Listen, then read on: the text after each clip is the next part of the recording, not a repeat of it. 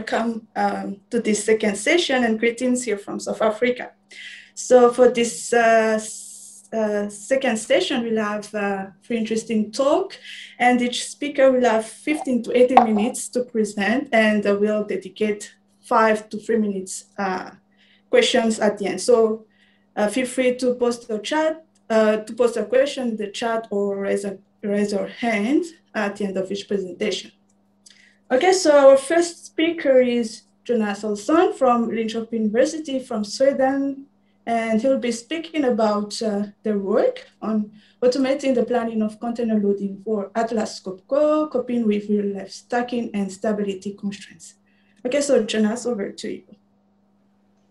Okay, I'll share my screen.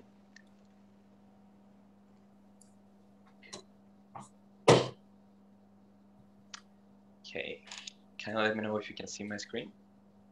Yes. Okay, awesome. Okay, um, hello everyone. My name is uh, Jonas Olsson and um, I'm going to present an industrial container loading problem that I worked on together with Torbjörn Larsson and uh, Nils Hassan Quttineh from uh, Linköping University in uh, Sweden. So I studied in Linköping, but since about three years I'm based in London working as an engineer for a global logistics company. So this project was for a company named Atlas Copco and took place in 2015 to 2016 at a distribution center in Dallas, Texas. So a note here is that the part of the company is now a separate entity named Epiroc. So this DC in Dallas ships uh, spare parts for drilling equipment. Due to the nature of the business, there's a large variety of packages, which makes loading containers challenging. A single package may contain one or multiple items, and there are also larger packages that can hold several smaller ones. Such packages are called consolidation pallets. It's either an open box on a pallet or a pallet wrapped in plastic. And packages and consolidation pallets are loaded in a 20 foot or 40 foot ocean shipping container. So prior to our solution, manual load planning of ocean containers involved a test loading on the warehouse floor. So this was to predict if the container would be full enough, considering the freight cost, but also to ensure that all packages would fit while avoiding risk of cargo damage. So this was a time-consuming trial and error process, which caused excessive labor usage and delays in ordering containers. So the desire was to eliminate this test loading process, and that's what triggered our project. And here we have some examples of uh, loaded containers at the loading docks. And an important enabler to automate the load planning was the laptops in the forklifts that could be used to display step-by-step -step load plans. And this is an example of five placement in a load plan, the blue indicating the next placement to be made by the operator, and the bottom right, you have a picture of uh, what the load plan looks at that stage. So after that introduction, I'll continue with a problem definition. So this illustration shows an overview of the packing and loading process at the DC. So packages from level 1 and 2 are input to a loading problem, and consolidation pallets and shipping containers at level 3 and 4 our output from our loading problem. So now shifting focus a bit from the uh, practical context at the DC to the academic literature. Uh, our problem have several special characteristics compared to the existing literature. So one is that it's neither a pure output maximization nor pure input minimization problem, uh, in the sense that packages are given and expected to fit into a single container. And we have multiple goals for loading to achieve load plan quality uh, other than the utilization. The second is that the problem is highly constrained. So seven out of 10 categories of constrained constraints uh, from one of the reviews uh, are applicable. So in this review, only two out of 163 papers had seven, and there were none with more than seven. And it's also highly constrained in the sense that it requires a much more realistic modeling of uh, stacking constraints. So in our case, we consider that a package can withstand a higher pressure uh, on the edges than in the center of its top surface. And finally, uh, fourth is that the problem is heterogeneous and in, in two ways. So one is that the number of sizes of packages is large, um, and also that packages have 10 attributes in addition to size. So two recent uh, reviews uh, support why our work would be relevant. So one review from 2016 expressed the lack of work with many real-world constraints, which uh, our work has. And uh, a review from 2013 highlighted the prospect of tackling soft constraints with multi-objective approaches, which links to our goals for load plan quality. So we can define our problem uh, as to maximize fulfillment of four main goals. Goal one is related to fit all the packages, and goals two, three, and four uh, relates to other aspects that contribute to load plan quality. Goal two is about horizontal cargo stability, goal three about container stability, and goal four to avoid awkward placements. And the goal fulfillment is with respect to some hard constraints. We both have the uh, standard geometry and orientation hard constraints, but also some hard constraints for stacking, positioning, and vertical stability.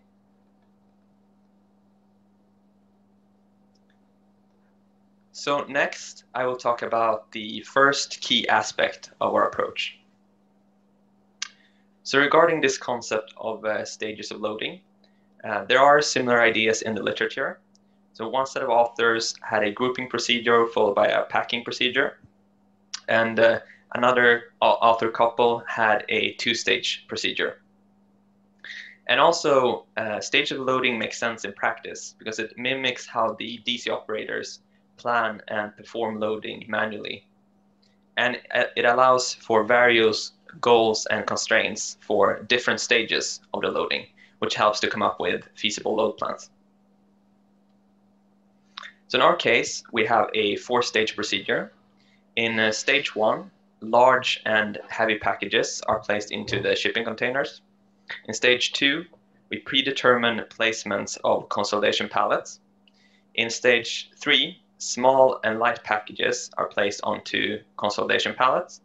And in stage four, the consolidation pallets and remaining packages are placed into the shipping containers. So a couple notes here is that all boxes are assigned a priori to either stage one, three, or four. And a really great thing about this is that the same method can be used to solve each stage, just with some minor modifications in between.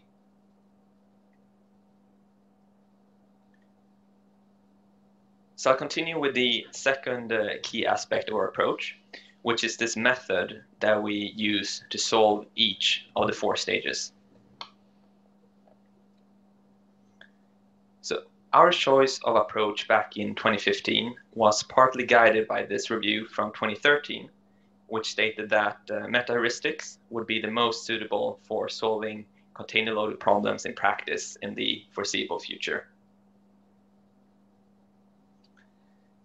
And some characteristics here of our approach. So one is that the goals and the hard constraints were not well defined in the early stages of our work.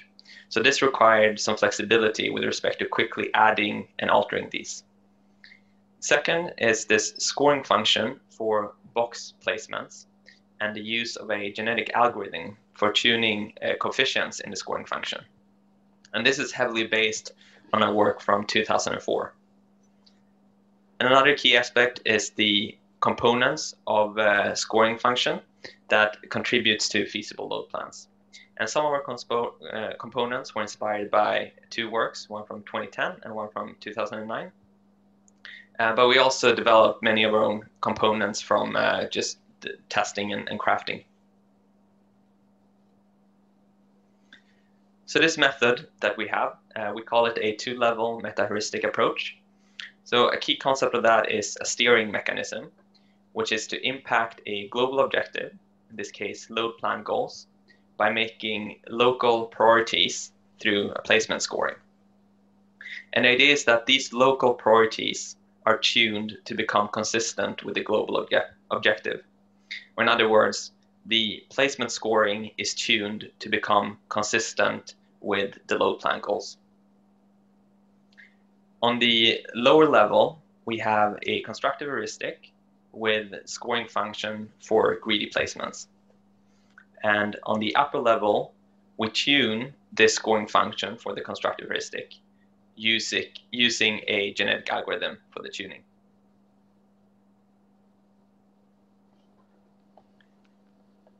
And this illustration to the left uh, shows the, the overall algorithm. So start by a genetic algorithm where we initialize a population. And this population W, uh, which corresponds to uh, coefficients for the scoring function, this population W is sent into uh, the placement heuristic. And for each individual in the population, we generate a load plan. This uh, set of load plans, L, is then sent into the load plan evaluation. And for each individual in the population, we evaluate uh, the load plan.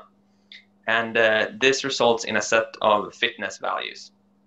So one, one fitness for, for every individual, which is then sent back into the genetic algorithm where we update the population based on those fitness values.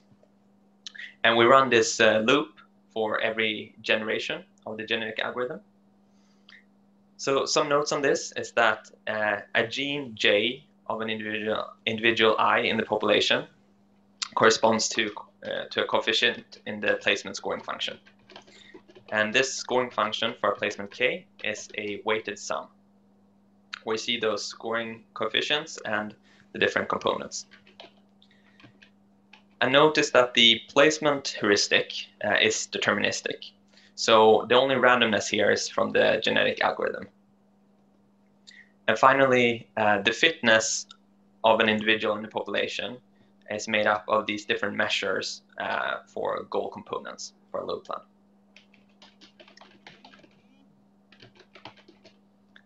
And just to make it a little bit more concrete, here are just a few examples of uh, fitness components.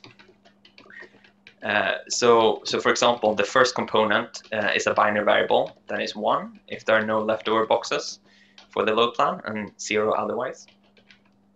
And uh, some components are applicable to all stages, uh, while others are only applicable to selected stages.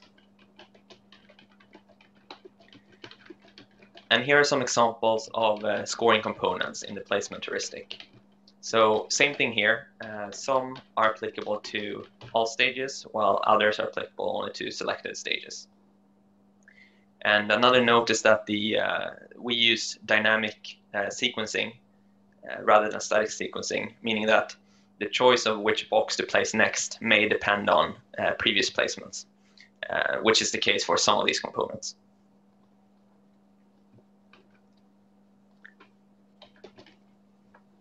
And um, a key aspect for this kind of uh, constructive heuristic is how to generate placement points.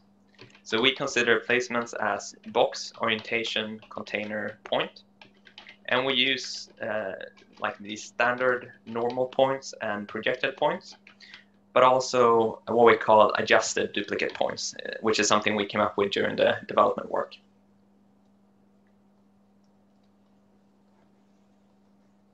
So I'm now done with the approach and we'll move on to some uh, results and analysis. So comparison with uh, algorithms from the existing literature was not possible, unfortunately, due to unique uh, characteristics of our problem. Uh, but we wanted to still verify that features of, all, of our algorithm are needed. So we focused on these three features the genetic algorithm tuning of the scoring weights versus using fixed weights, the components in the placement scoring function, and the use of these adjusted duplicate points. And we tested this on 50 real shipments at the DC. And here we're reporting only on the stage one results, since it's by far the most uh, crucial and challenging for the overall load plan. And, and we're making 10 runs for each of the 50 problems with uh, 200 generations uh, in each run. So here we're seeing some results for different versions of, of the algorithm. Uh, so version 22 to the far right is the one implemented at the DC, and versions 1 to 21 are simplifications of this. So in this table, uh, the upper rows indicate uh, the settings uh, that are used, and the two last rows indicate how good uh, these settings turn out to be. So what we found here is that version 22, uh, the one implemented, is uh, best in terms of fitting all packages. So it succeeds in 493 out of 500 runs.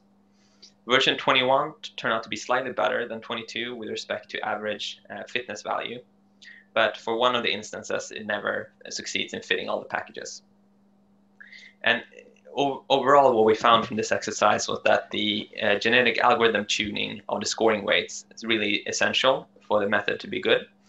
Uh, and that the score or particular scoring components and the use of the uh, adjusted duplicate points uh, are also helpful to fit all the packages uh, for the most difficult uh, instances.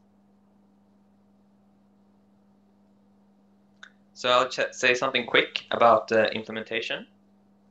So the software that resulted from this was used for two, two years at the DC in Allen, Texas.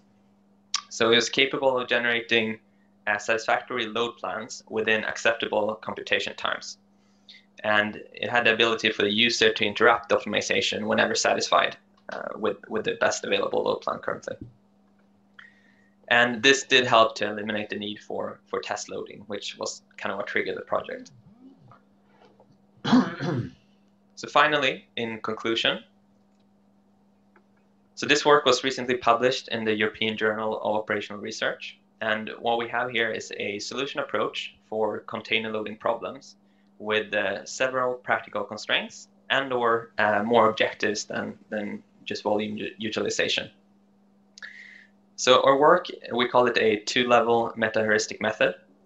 And the idea is to impact a global objective, which is the load plan goals, by making local priorities uh, via placement scoring. So where these local priorities are tuned to become consistent with the global objective. objective. Or in other words, uh, the placement scoring is tuned to become consistent with the load plan goals. And in lower level, we have a constructive heuristic with a scoring function for greedy placements. And on the upper level, we tune this uh, scoring function for the constructive heuristic. And we use a genetic algorithm for the tuning. And as a final note, uh, these previous reviews mentioned a need for data sets with real-world constraints. So we have these 50 real-world test problem data sets included as a CSV file in our supplementary material. So hopefully in the future this will be useful for, for someone.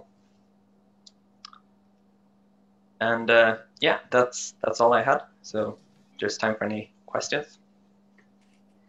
Okay, thanks so much, Jonas, for the interesting talk. Um, any question from the audience? Yeah, I have a question, if I may. Okay, yes. So uh, I wanted to know how you, uh, first of all, thank you very much for the interesting uh, talk. Uh, how you generate the uh, adjusted uh, duplicate points, if I. Yeah, let me. So I saw the picture, but probably, yeah, yeah, here. So the uh, the forward adjusted duplicate points. So the reason why we generate them uh, is for the stacking constraints. Because uh, in the example here, uh, see if you can see my mouse. Uh, in this one here, yeah. by moving by placing a potential box at that location, okay. Uh, it would be supported in um, by the edges of the package below. So simply what we would do is for every remaining potential box, we would okay. look at where would the point be located so that it would gain support uh, from the edges. I see. I see. Okay. Yeah. And and in this other case, this is more just for the purpose of utilization. So we would take, we would have a, and let's say a normal point here, and then we would look at the different uh, boxes that are remaining, and we would shift the point uh, diagonally uh, so that a package could, a box could perfectly be snugged uh, without the intersection with the the, the walls of the container. Yeah, very good. And another curiosity, just very quick, um, about the running time. I mean, how long does it take normally for, uh, on average, for an instance that you try? So it, it, varies a lot between instances, uh, and there are a few really what, what's driving the time is a few components that are quite expensive in terms of runtime. Uh, but in the paper uh, that we have for all these 50 problems, the uh, the runtime per uh, generation, okay. Uh, which I, th- I think in some cases could be just a few seconds, and in some cases maybe uh, half a minute. But that would depend also on, on the settings of the genetic algorithm.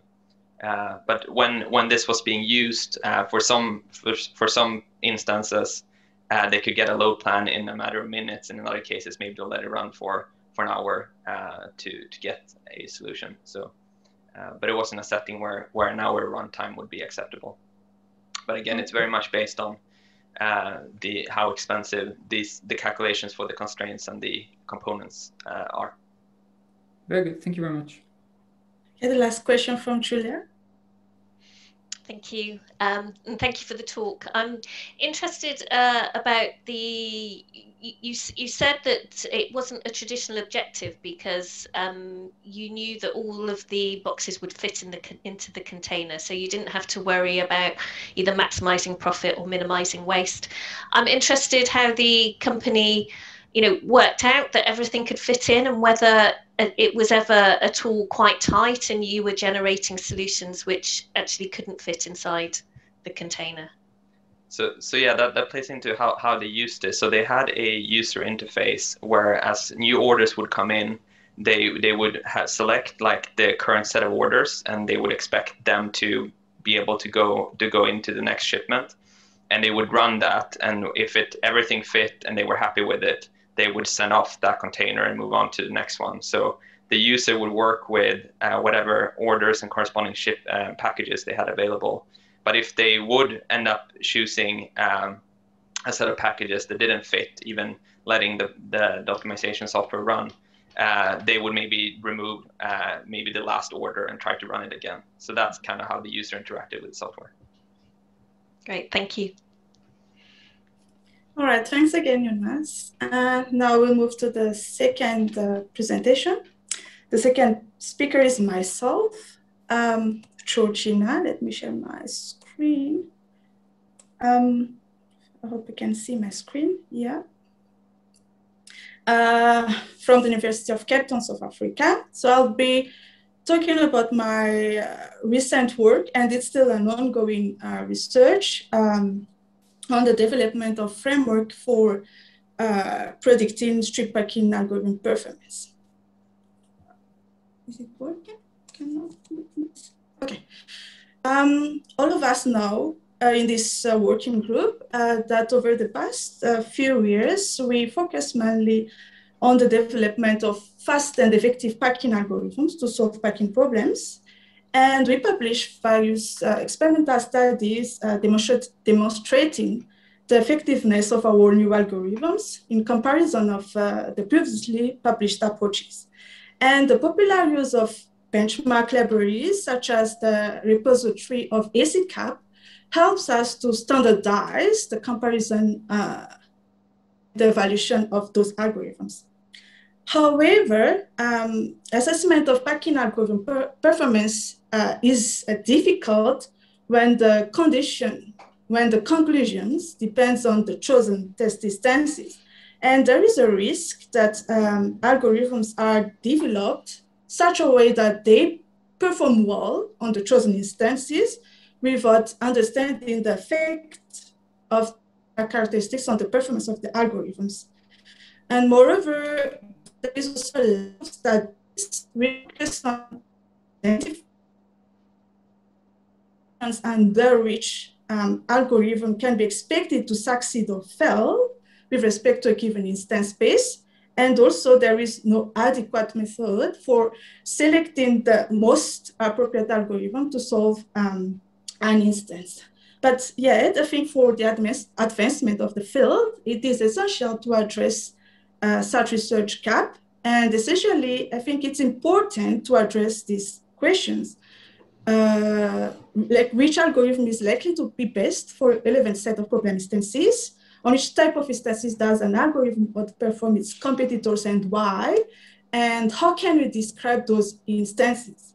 And I think answers to these questions help us to understand the conditions under which a particular packing algorithm can be expected to succeed or fail with respect to the features of benchmark instances, and that help us to develop improved algorithm designs. Also, answers to these questions help us to uncover the relationships between characteristics of problem instances and algorithm performance. And this helps us to develop uh, models capable of predicting the best algorithm for uh, the new uh, instance. So this work basically attempts to address these questions. So more precisely, the objectives of the work are to propose methodology for characterizing packing algorithm performance based on critical features of packing instances, and then identify the best performing algorithm for a given instance, and then reveal some sort of insights into the relative power um, of algorithms with respect to the instance space. So, uh, so basically, the work uh, attempts to develop tools capable of modeling the relationship between instance characteristics and algorithm performance, and also for an automated packing algorithm selection. So the proposed framework uh, in this work is shown here. It consists of uh, three phases. The first phase, the training phase, involves uh, various steps as depicted by the dashed arrow in this uh, diagram on top here. So basically, it's a process wh whereby instances are selected, the features are calculated, and a set of optimal features is generated to model the relationship between uh, instance characteristics and algorithm performance. And then the second phase, the prediction phase, is depicted by the uh, solid arrows on the top left here. So based on the feature and instance spaces obtained from the first phase, then one can use machine learning techniques such as clustered analysis, classification, classification techniques to classify the group of instances where an algorithm is predicted to perform well or poorly, and also to identify which algorithm is recommended for which um, areas in the instance space. And finally, the last phase, the feedback phase, is depicted by the dotted arrows at the bottom here. It's a process whereby the accuracy of the prediction model is assessed.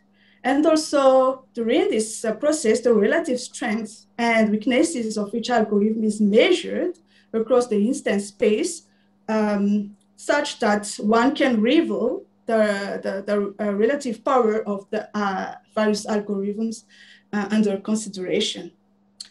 And I've applied this uh, framework uh, as a case study on the two-dimensional strip packing problem.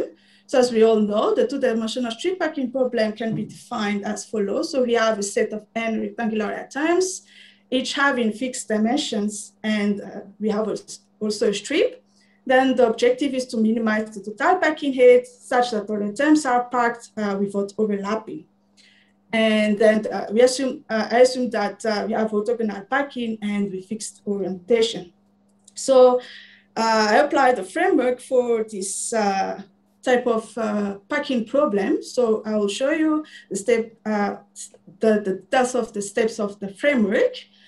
So the first one is the instance generation one. So a total of 3,398 instances is considered in this work, where the first set, uh, 1,718, was obtained from the literature, and the remaining one, uh, I've generated a new set of 1,680 from uh, using the 2D CPack uh, gen problem generator of uh, Silva et al. Um, 2014. So that's the instances that I've considered. Then for the feature selection, um, in 2019, there is a paper of Junior um, et al. Uh, in which they attempted to use uh, uh, machine learning to uh, characterize the strip packing, the two-dimensional strip packing uh, problem. So they consider 56 descriptive variables and then after the analysis, they realized that uh, these variables can be reduced to 19 characteristics to describe the problem instances. But in this work, I've considered uh, uh, 10 characteristics in order to uh, avoid redundancy.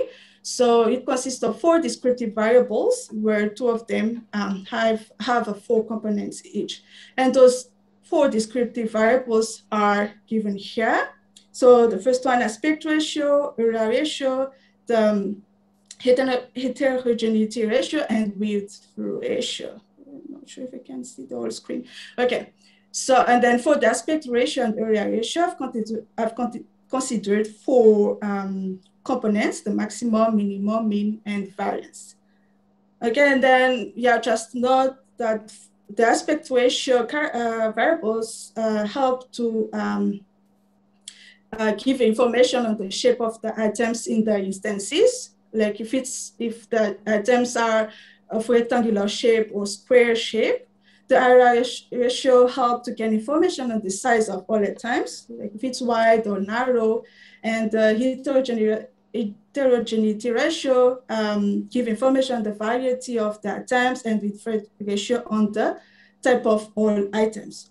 Okay, so that's the features that I've considered um, uh, for this work. Then the next step, uh, the performance evaluation. Uh, I've considered these seven recently published um, algorithms to evaluate uh, uh, the various instances to get uh, the performance of the algorithm. So ranging from 2011 until 2020. So they were uh, reported as among the best algorithm to solve uh, the two-dimensional strip packing problems. Then we can see here in the table um, the best algorithms that solve uh, each of the problem instances. This is just example. So uh, I define a set of best algorithm uh, in a way that the performance ratio of any pair of algorithms in the set are equal to almost 1%. So that means, for example, for this second uh, case here, this uh, second row here, the SRA and HybridGA algorithms uh, perform uh, significantly the same to solve uh, the, this instance uh, of Hopper here. So they are considered as the best algorithm to solve that instance and so on. Okay, so given that, so I've, I have the best algorithm to solve each of the problem instances that I consider. And then the next step, um, I performed the cluster analysis.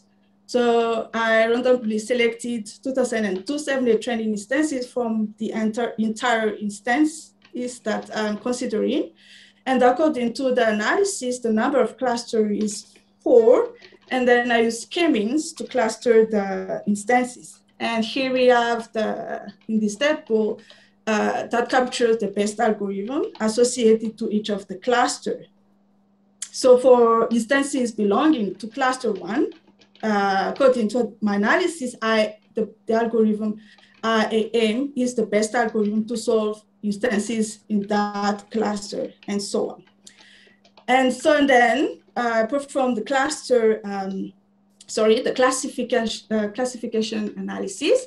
So to um, create the classification rules, use the 10 features as independent variables to generate the corresponding clusters, and the best algorithm associated to each cluster as uh, are used as class variables, and then use the decision tree algorithm to perform the classification um, process.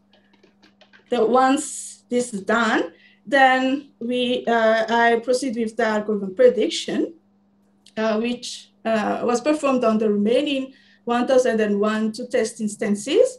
So here in this table, it captures the results that, that I, I have obtained. So in the first column have the name of the instances. In the second uh, column, uh, have the real best algorithms. These are the algorithms uh, obtained uh, by solving directly the instances uh, using the, the, the algorithms, the set of the seven algorithms that I considered. And then in the third column, I have the predicted best algorithm using the uh, classification uh, rules that um, performed in the previous step. And then in terms of validation, I compare the predicted algorithm with the real best algorithm. So the, the result for that is uh, captured in the last column in the table, uh, the match one.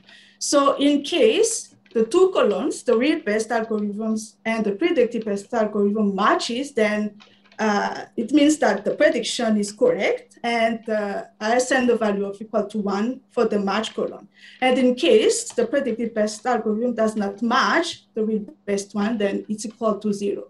Then the, the result uh, indicates that I've got an accuracy of 81% of um, correctly um, predicting the best algorithm for the test uh, instances. All right, and then, so that's for the prediction model. Then the last uh, step is the analysis of algorithm power. So here on the first plot on the left, we have the dimensional plot of all instances considered in this work. And then in the plot on the right, got what I called hard instances. So these hard instances are instances that are uniquely solved by one of the algorithms, which means that only one algorithm performs best for each of these instances. And what I found interesting uh, was that is that that uh, among these hard instances, um, I discovered a well a separated relative power or performance of two algorithms, the hybrid genetic algorithm and the IAM uh, algorithm. So you can see on the plot on the left, the red colored instances on the left plot, these instances were uniquely solved by the hybrid genetic algorithm. And the red colored instances on the right, these uh, instances were uniquely solved by the IAM um, algorithm. And I think this uh, it's interesting to see this uh, type of separation so that we can see the weaknesses or the strength of the algorithm. And as I said earlier, this is still an ongoing research, so I still need to figure out, to find out why and how these instances were uniquely solved by these um, uh, algorithms. So as summary, uh, as insights and future direction, so it looks like the methodology achieved 81% um, accuracy in correctly, correctly predicting the best performing algorithm for a new instance.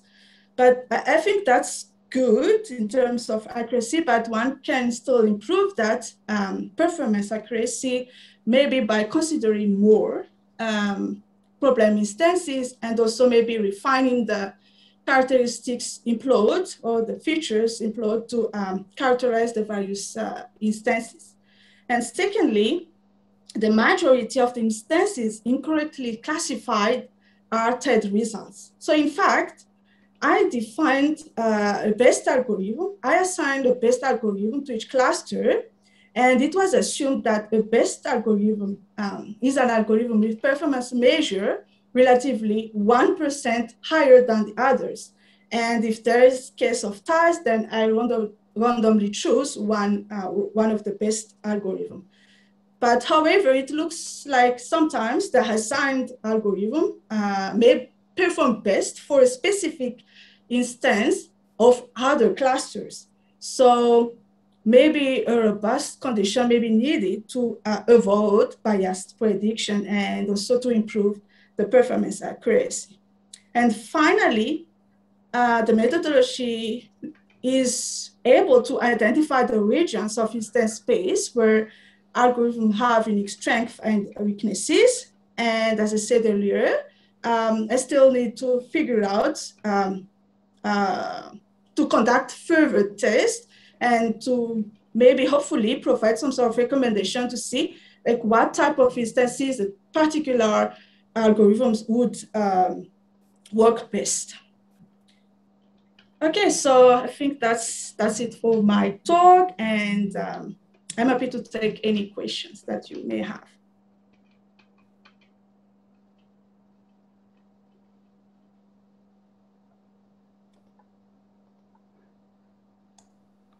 So if I may ask a quick question, just out of uh, yes. curiosity.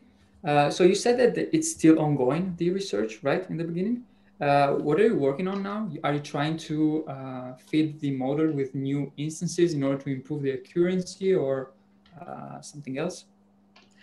Uh, at the moment, I'm more um, focusing on the last case, on the analysis of uh, the relative power of the algorithms to see the relation between the algorithm performance and the characteristic of the instance space. So still, and then after that, when I have like a better idea of what's going on there, then uh, move uh, to the case of um, improving the accuracy of the prediction model. Because I think 81% is still good at the moment. Yeah. So, but, but, but I still need to conduct further tests and see what's going on if I consider many uh, other instances of other characteristics. Great, thank you. All right, so um, I think Alvaro and then Jose. Hello, Josephine. First of all, thank you very much for your presentation. It uh, was very interesting to see uh, applications of uh, uh heuristics and uh, data mining together in the same study. Uh, why the rectangles rotation was not considered in your study?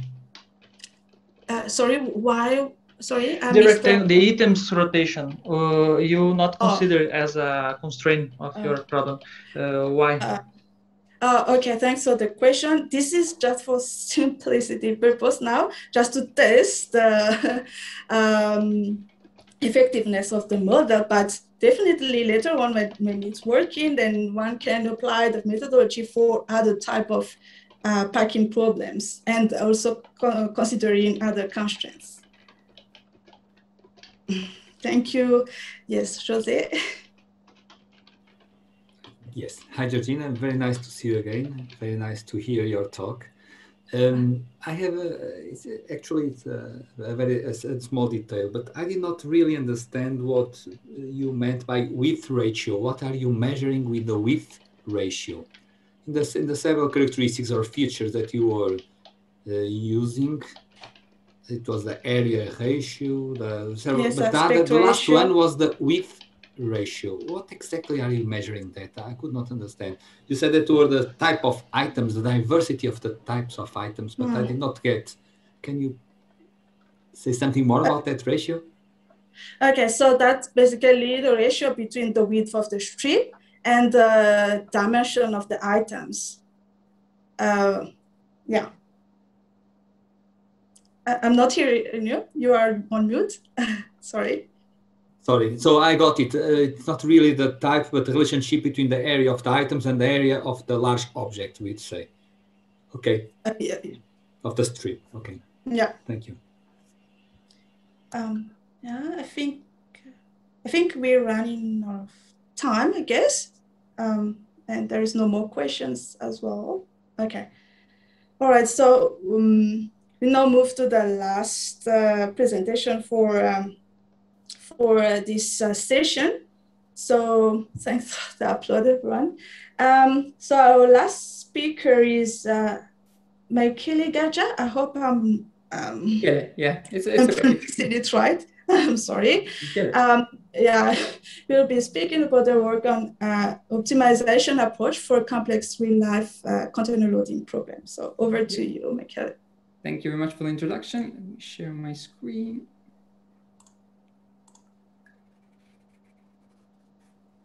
So hello everyone, my name is uh, Michele Gajda. I'm a first year PhD uh, student at the University of Lausanne. And today I want to talk to you about the, uh, this project, which is called an optimization approach for uh, a complex real life container loading problem. This is a, a joint work um, developed together with Alessio Trivella from ETH and Renata Mansini from the University of Brescia and David Pisinger from the uh, Danish uh, Technical University of uh, Copenhagen. So let me just introduce to you the main motivation of the project uh, goal. So this uh, this project was um, was asked by a transportation company based in, uh, Milan, which deals in its day-to-day business with with a lot of packing procedure and needs to load, let's say, hundreds of of containers into um, into its, uh, of course, day-to-day transportation uh, job.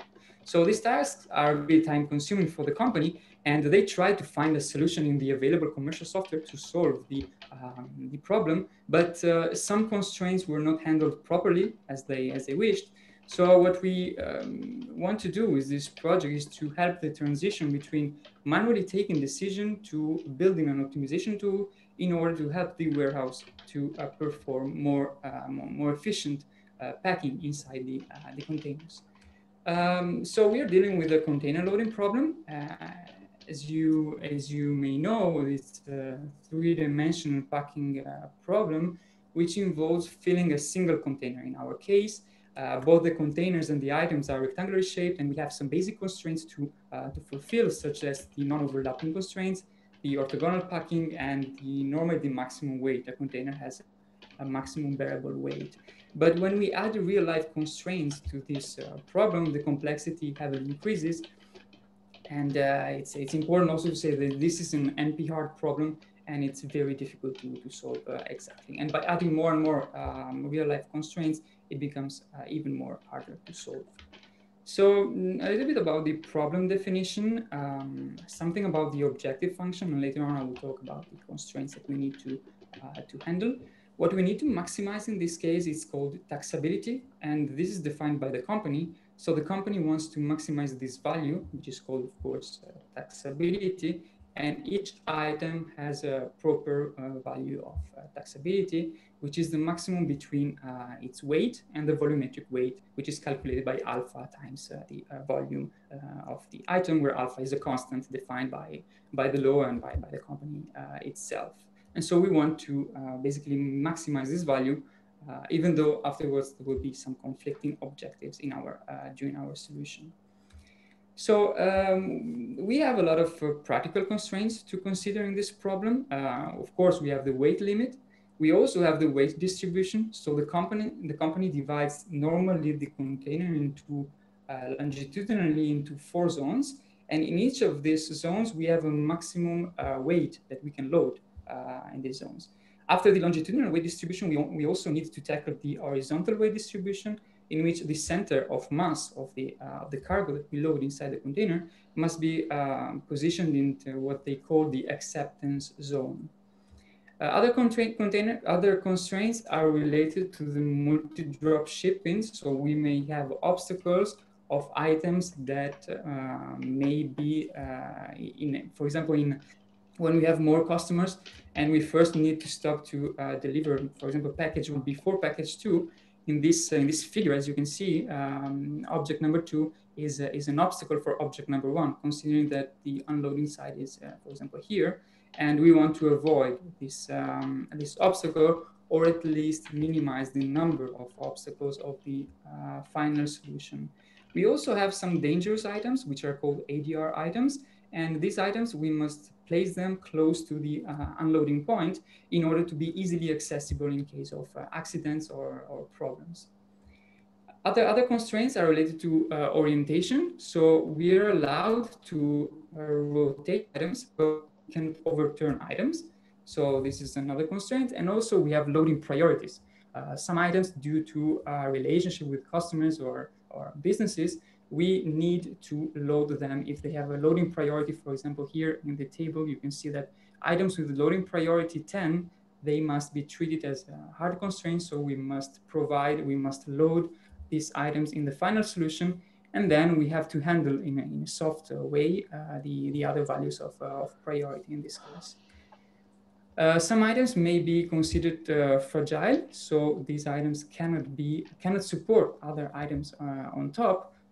And so we um, ideally want to place these items uh, on top of, of other items. Another constraint is related to vertical stability. We need to uh, provide a sorted supported area when we place items on top of each other. And in this case, the supported area, it's provided also by, by the company, but they want the 80% of the area of the item stacked to be, um, to be handled and to be supported, let's say. So this is about the, uh, the constraint. Um, we, we propose a randomized constructive solution approach. And given the number of constraints to be considered uh, jointly, given the large instances with uh, hundreds of uh, strongly heterogeneous items, because we do not know in advance the um, some we do not have let's say patterns of the items because we may have very different instances from uh, from one another. So it's really it's really hard to create patterns, and uh, we consider them to be strongly uh, heterogeneous. Uh, loading solution are required from the company. This was one of the most important points in the first discussion. They are required to be uh, very quickly calculated. And this was, this was one of the main points that guided our, our solution approach. And uh, therefore, we cannot, we cannot handle this course like uh, with exact methods. And we develop a randomized uh, constructive heuristic to do that. So let me say something about our approach. We call it like uh, it's um, it's a multi-run approach, which can be divided into three main phases. So first of all, we have input with uh, boxes with all the characteristics, uh, dimensions, and priorities, and loading order, if they are dangerous or not. Uh, what we do, we first uh, sort um, the items based on some intuition, and then we use some randomization in order to perturb the, uh, the initial list. We, we give this, this, um, these lists to the packing procedure. We create the packing procedure, the packing solution, and then in the end, we evaluate the solution based on taxability, which is what we want to maximize. But we also need to consider the number of obstacles and, of, and also the uh, priorities. So let me just go now quickly to uh, each of these three phases and say something about, about them. So first of all, the sorting and randomization. In a, in a constructive uh, approach like, like this one, sorting highly influences the packing process. So we, we try to generate promising ordering in the, in the beginning uh, based on different intuitions. For example, we can, we can group items based on priority and inside each group, we can, um, we can sort the items based on taxability. We can either group items based on unloading priority and then uh, sort inside, uh, inside each group. Uh, this sorted list is then uh, perturbed. We can use uh, the rotation as a sort of uh, perturbation to the, to, the, to the list. We can maybe we can also swap position of two consecutive uh, items if their volume has a certain degree of, uh, of similarity, and so on. We can we also describe some some other functions based on taxability and um, and therefore we are able to uh, sort of create a perturbation into the list and this gives us the possibility to uh, explore a wider uh, range of, uh, mm, of solutions.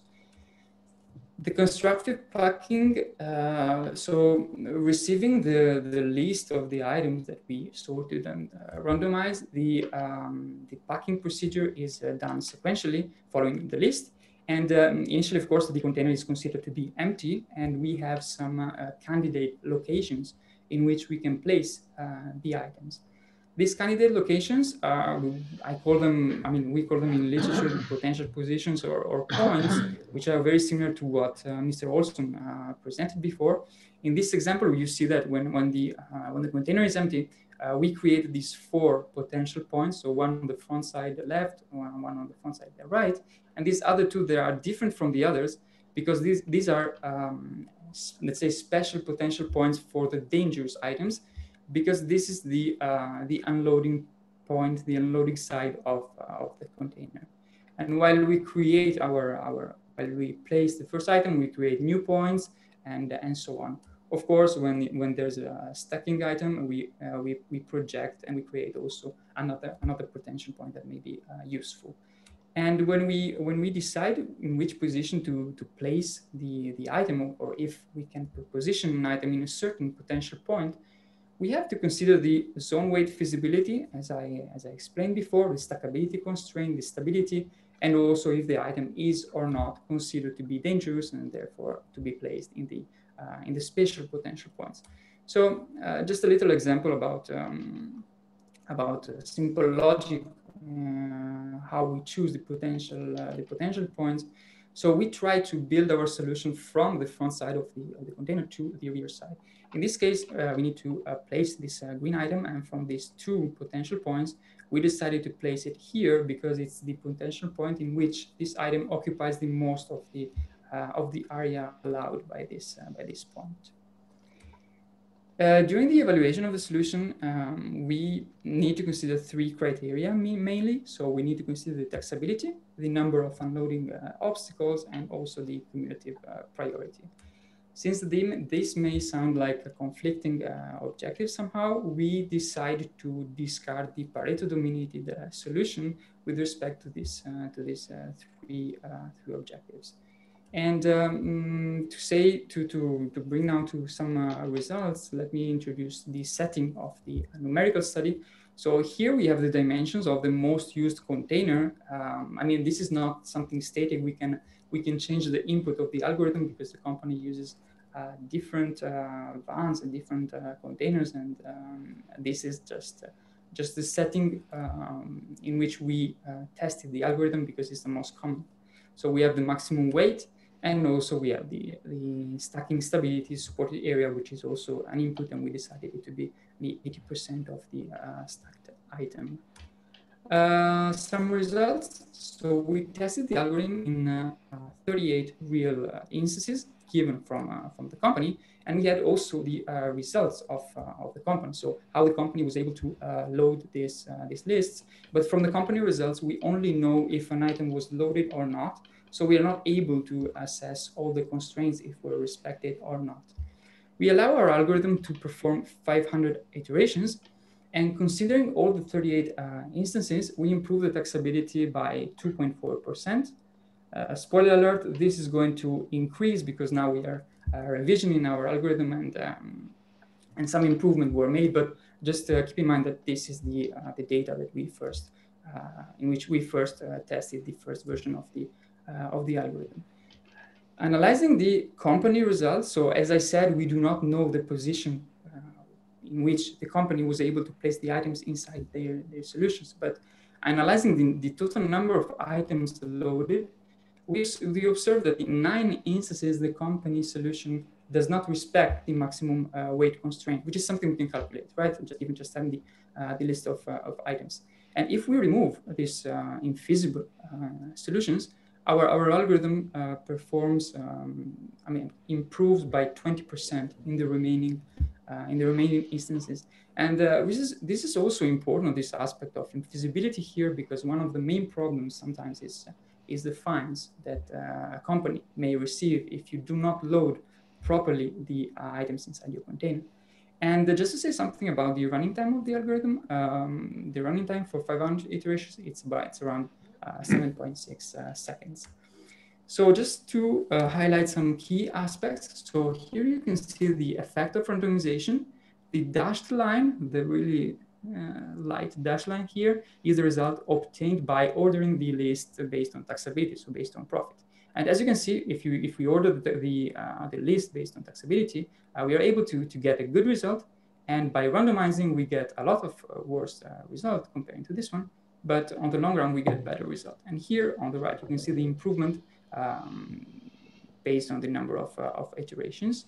And after uh, less than 750 uh, iterations, we get uh, the, our best result in, in, in, this case. So in this case, we allowed 1,000 iterations. And to evaluate the solution, you see um, um, on the left side here, the, uh, the Pareto frontier based on taxability and number of obstacles. And based on this result, we decided not to output only one result to the, to the warehouse, but to give them a 3D representation of uh, some results, five or six uh, solutions. Because in this case, you may prefer as a, as a warehouse person to, to, to choose one of these solutions, even if the taxability is not the best, because you reduce the number of obstacles so you can save time during the loading side and the unloading um, And this is about the cumulative priority uh, and the taxability. We can see the, the, the dominating frontier here. Uh, some other aspects that is interesting. So I tested uh, in this um, in this instance that I'm showing to you right now.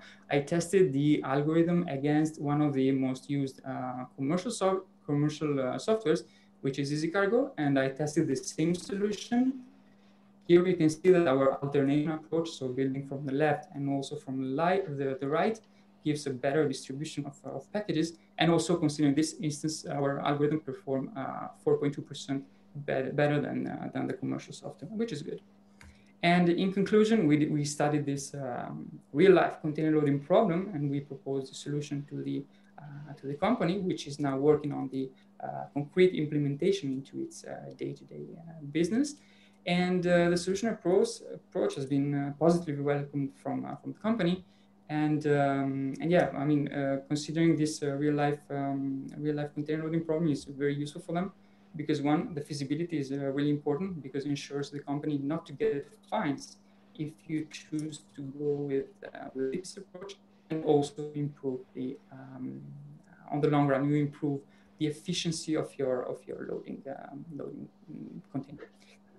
So this is all from my side. Thank you very much. Uh, if you want to read the first version of the paper, you can find it in uh, this link. And uh, if you have any questions, I'm more than happy to answer. Thanks so much, Michele, for the great talk. Any questions from the audience? Yes, Ramon? Uh, yes. Very nice presentation, Michael. Uh, do you hear me? Yeah. Yes. Yeah. Uh, do, did you mention that uh, there is several customers served by the same container? So the the order in which the customers are visited is given. Yes. Yeah, and. Uh, okay, and in your problem, they have many clients in the same container, so uh, very few boxes for each uh, customer or a long number of uh, boxes for each customer? Uh, it, it, varies a lot. Sometimes you you also have like uh, only one customer, which is very good because you don't have to handle with this constraint. But mm-hmm. sometimes mm-hmm. you may also have I don't know seven, eight different customers in the in the tests I have now. But uh, in the first discussion with the company, they told us that they want this to be considered like um, like a normal constraint so you don't have to care about the number of uh, of customers because it may be way easier if you know how many customers you have because maybe you can pack them into a greater um, hmm.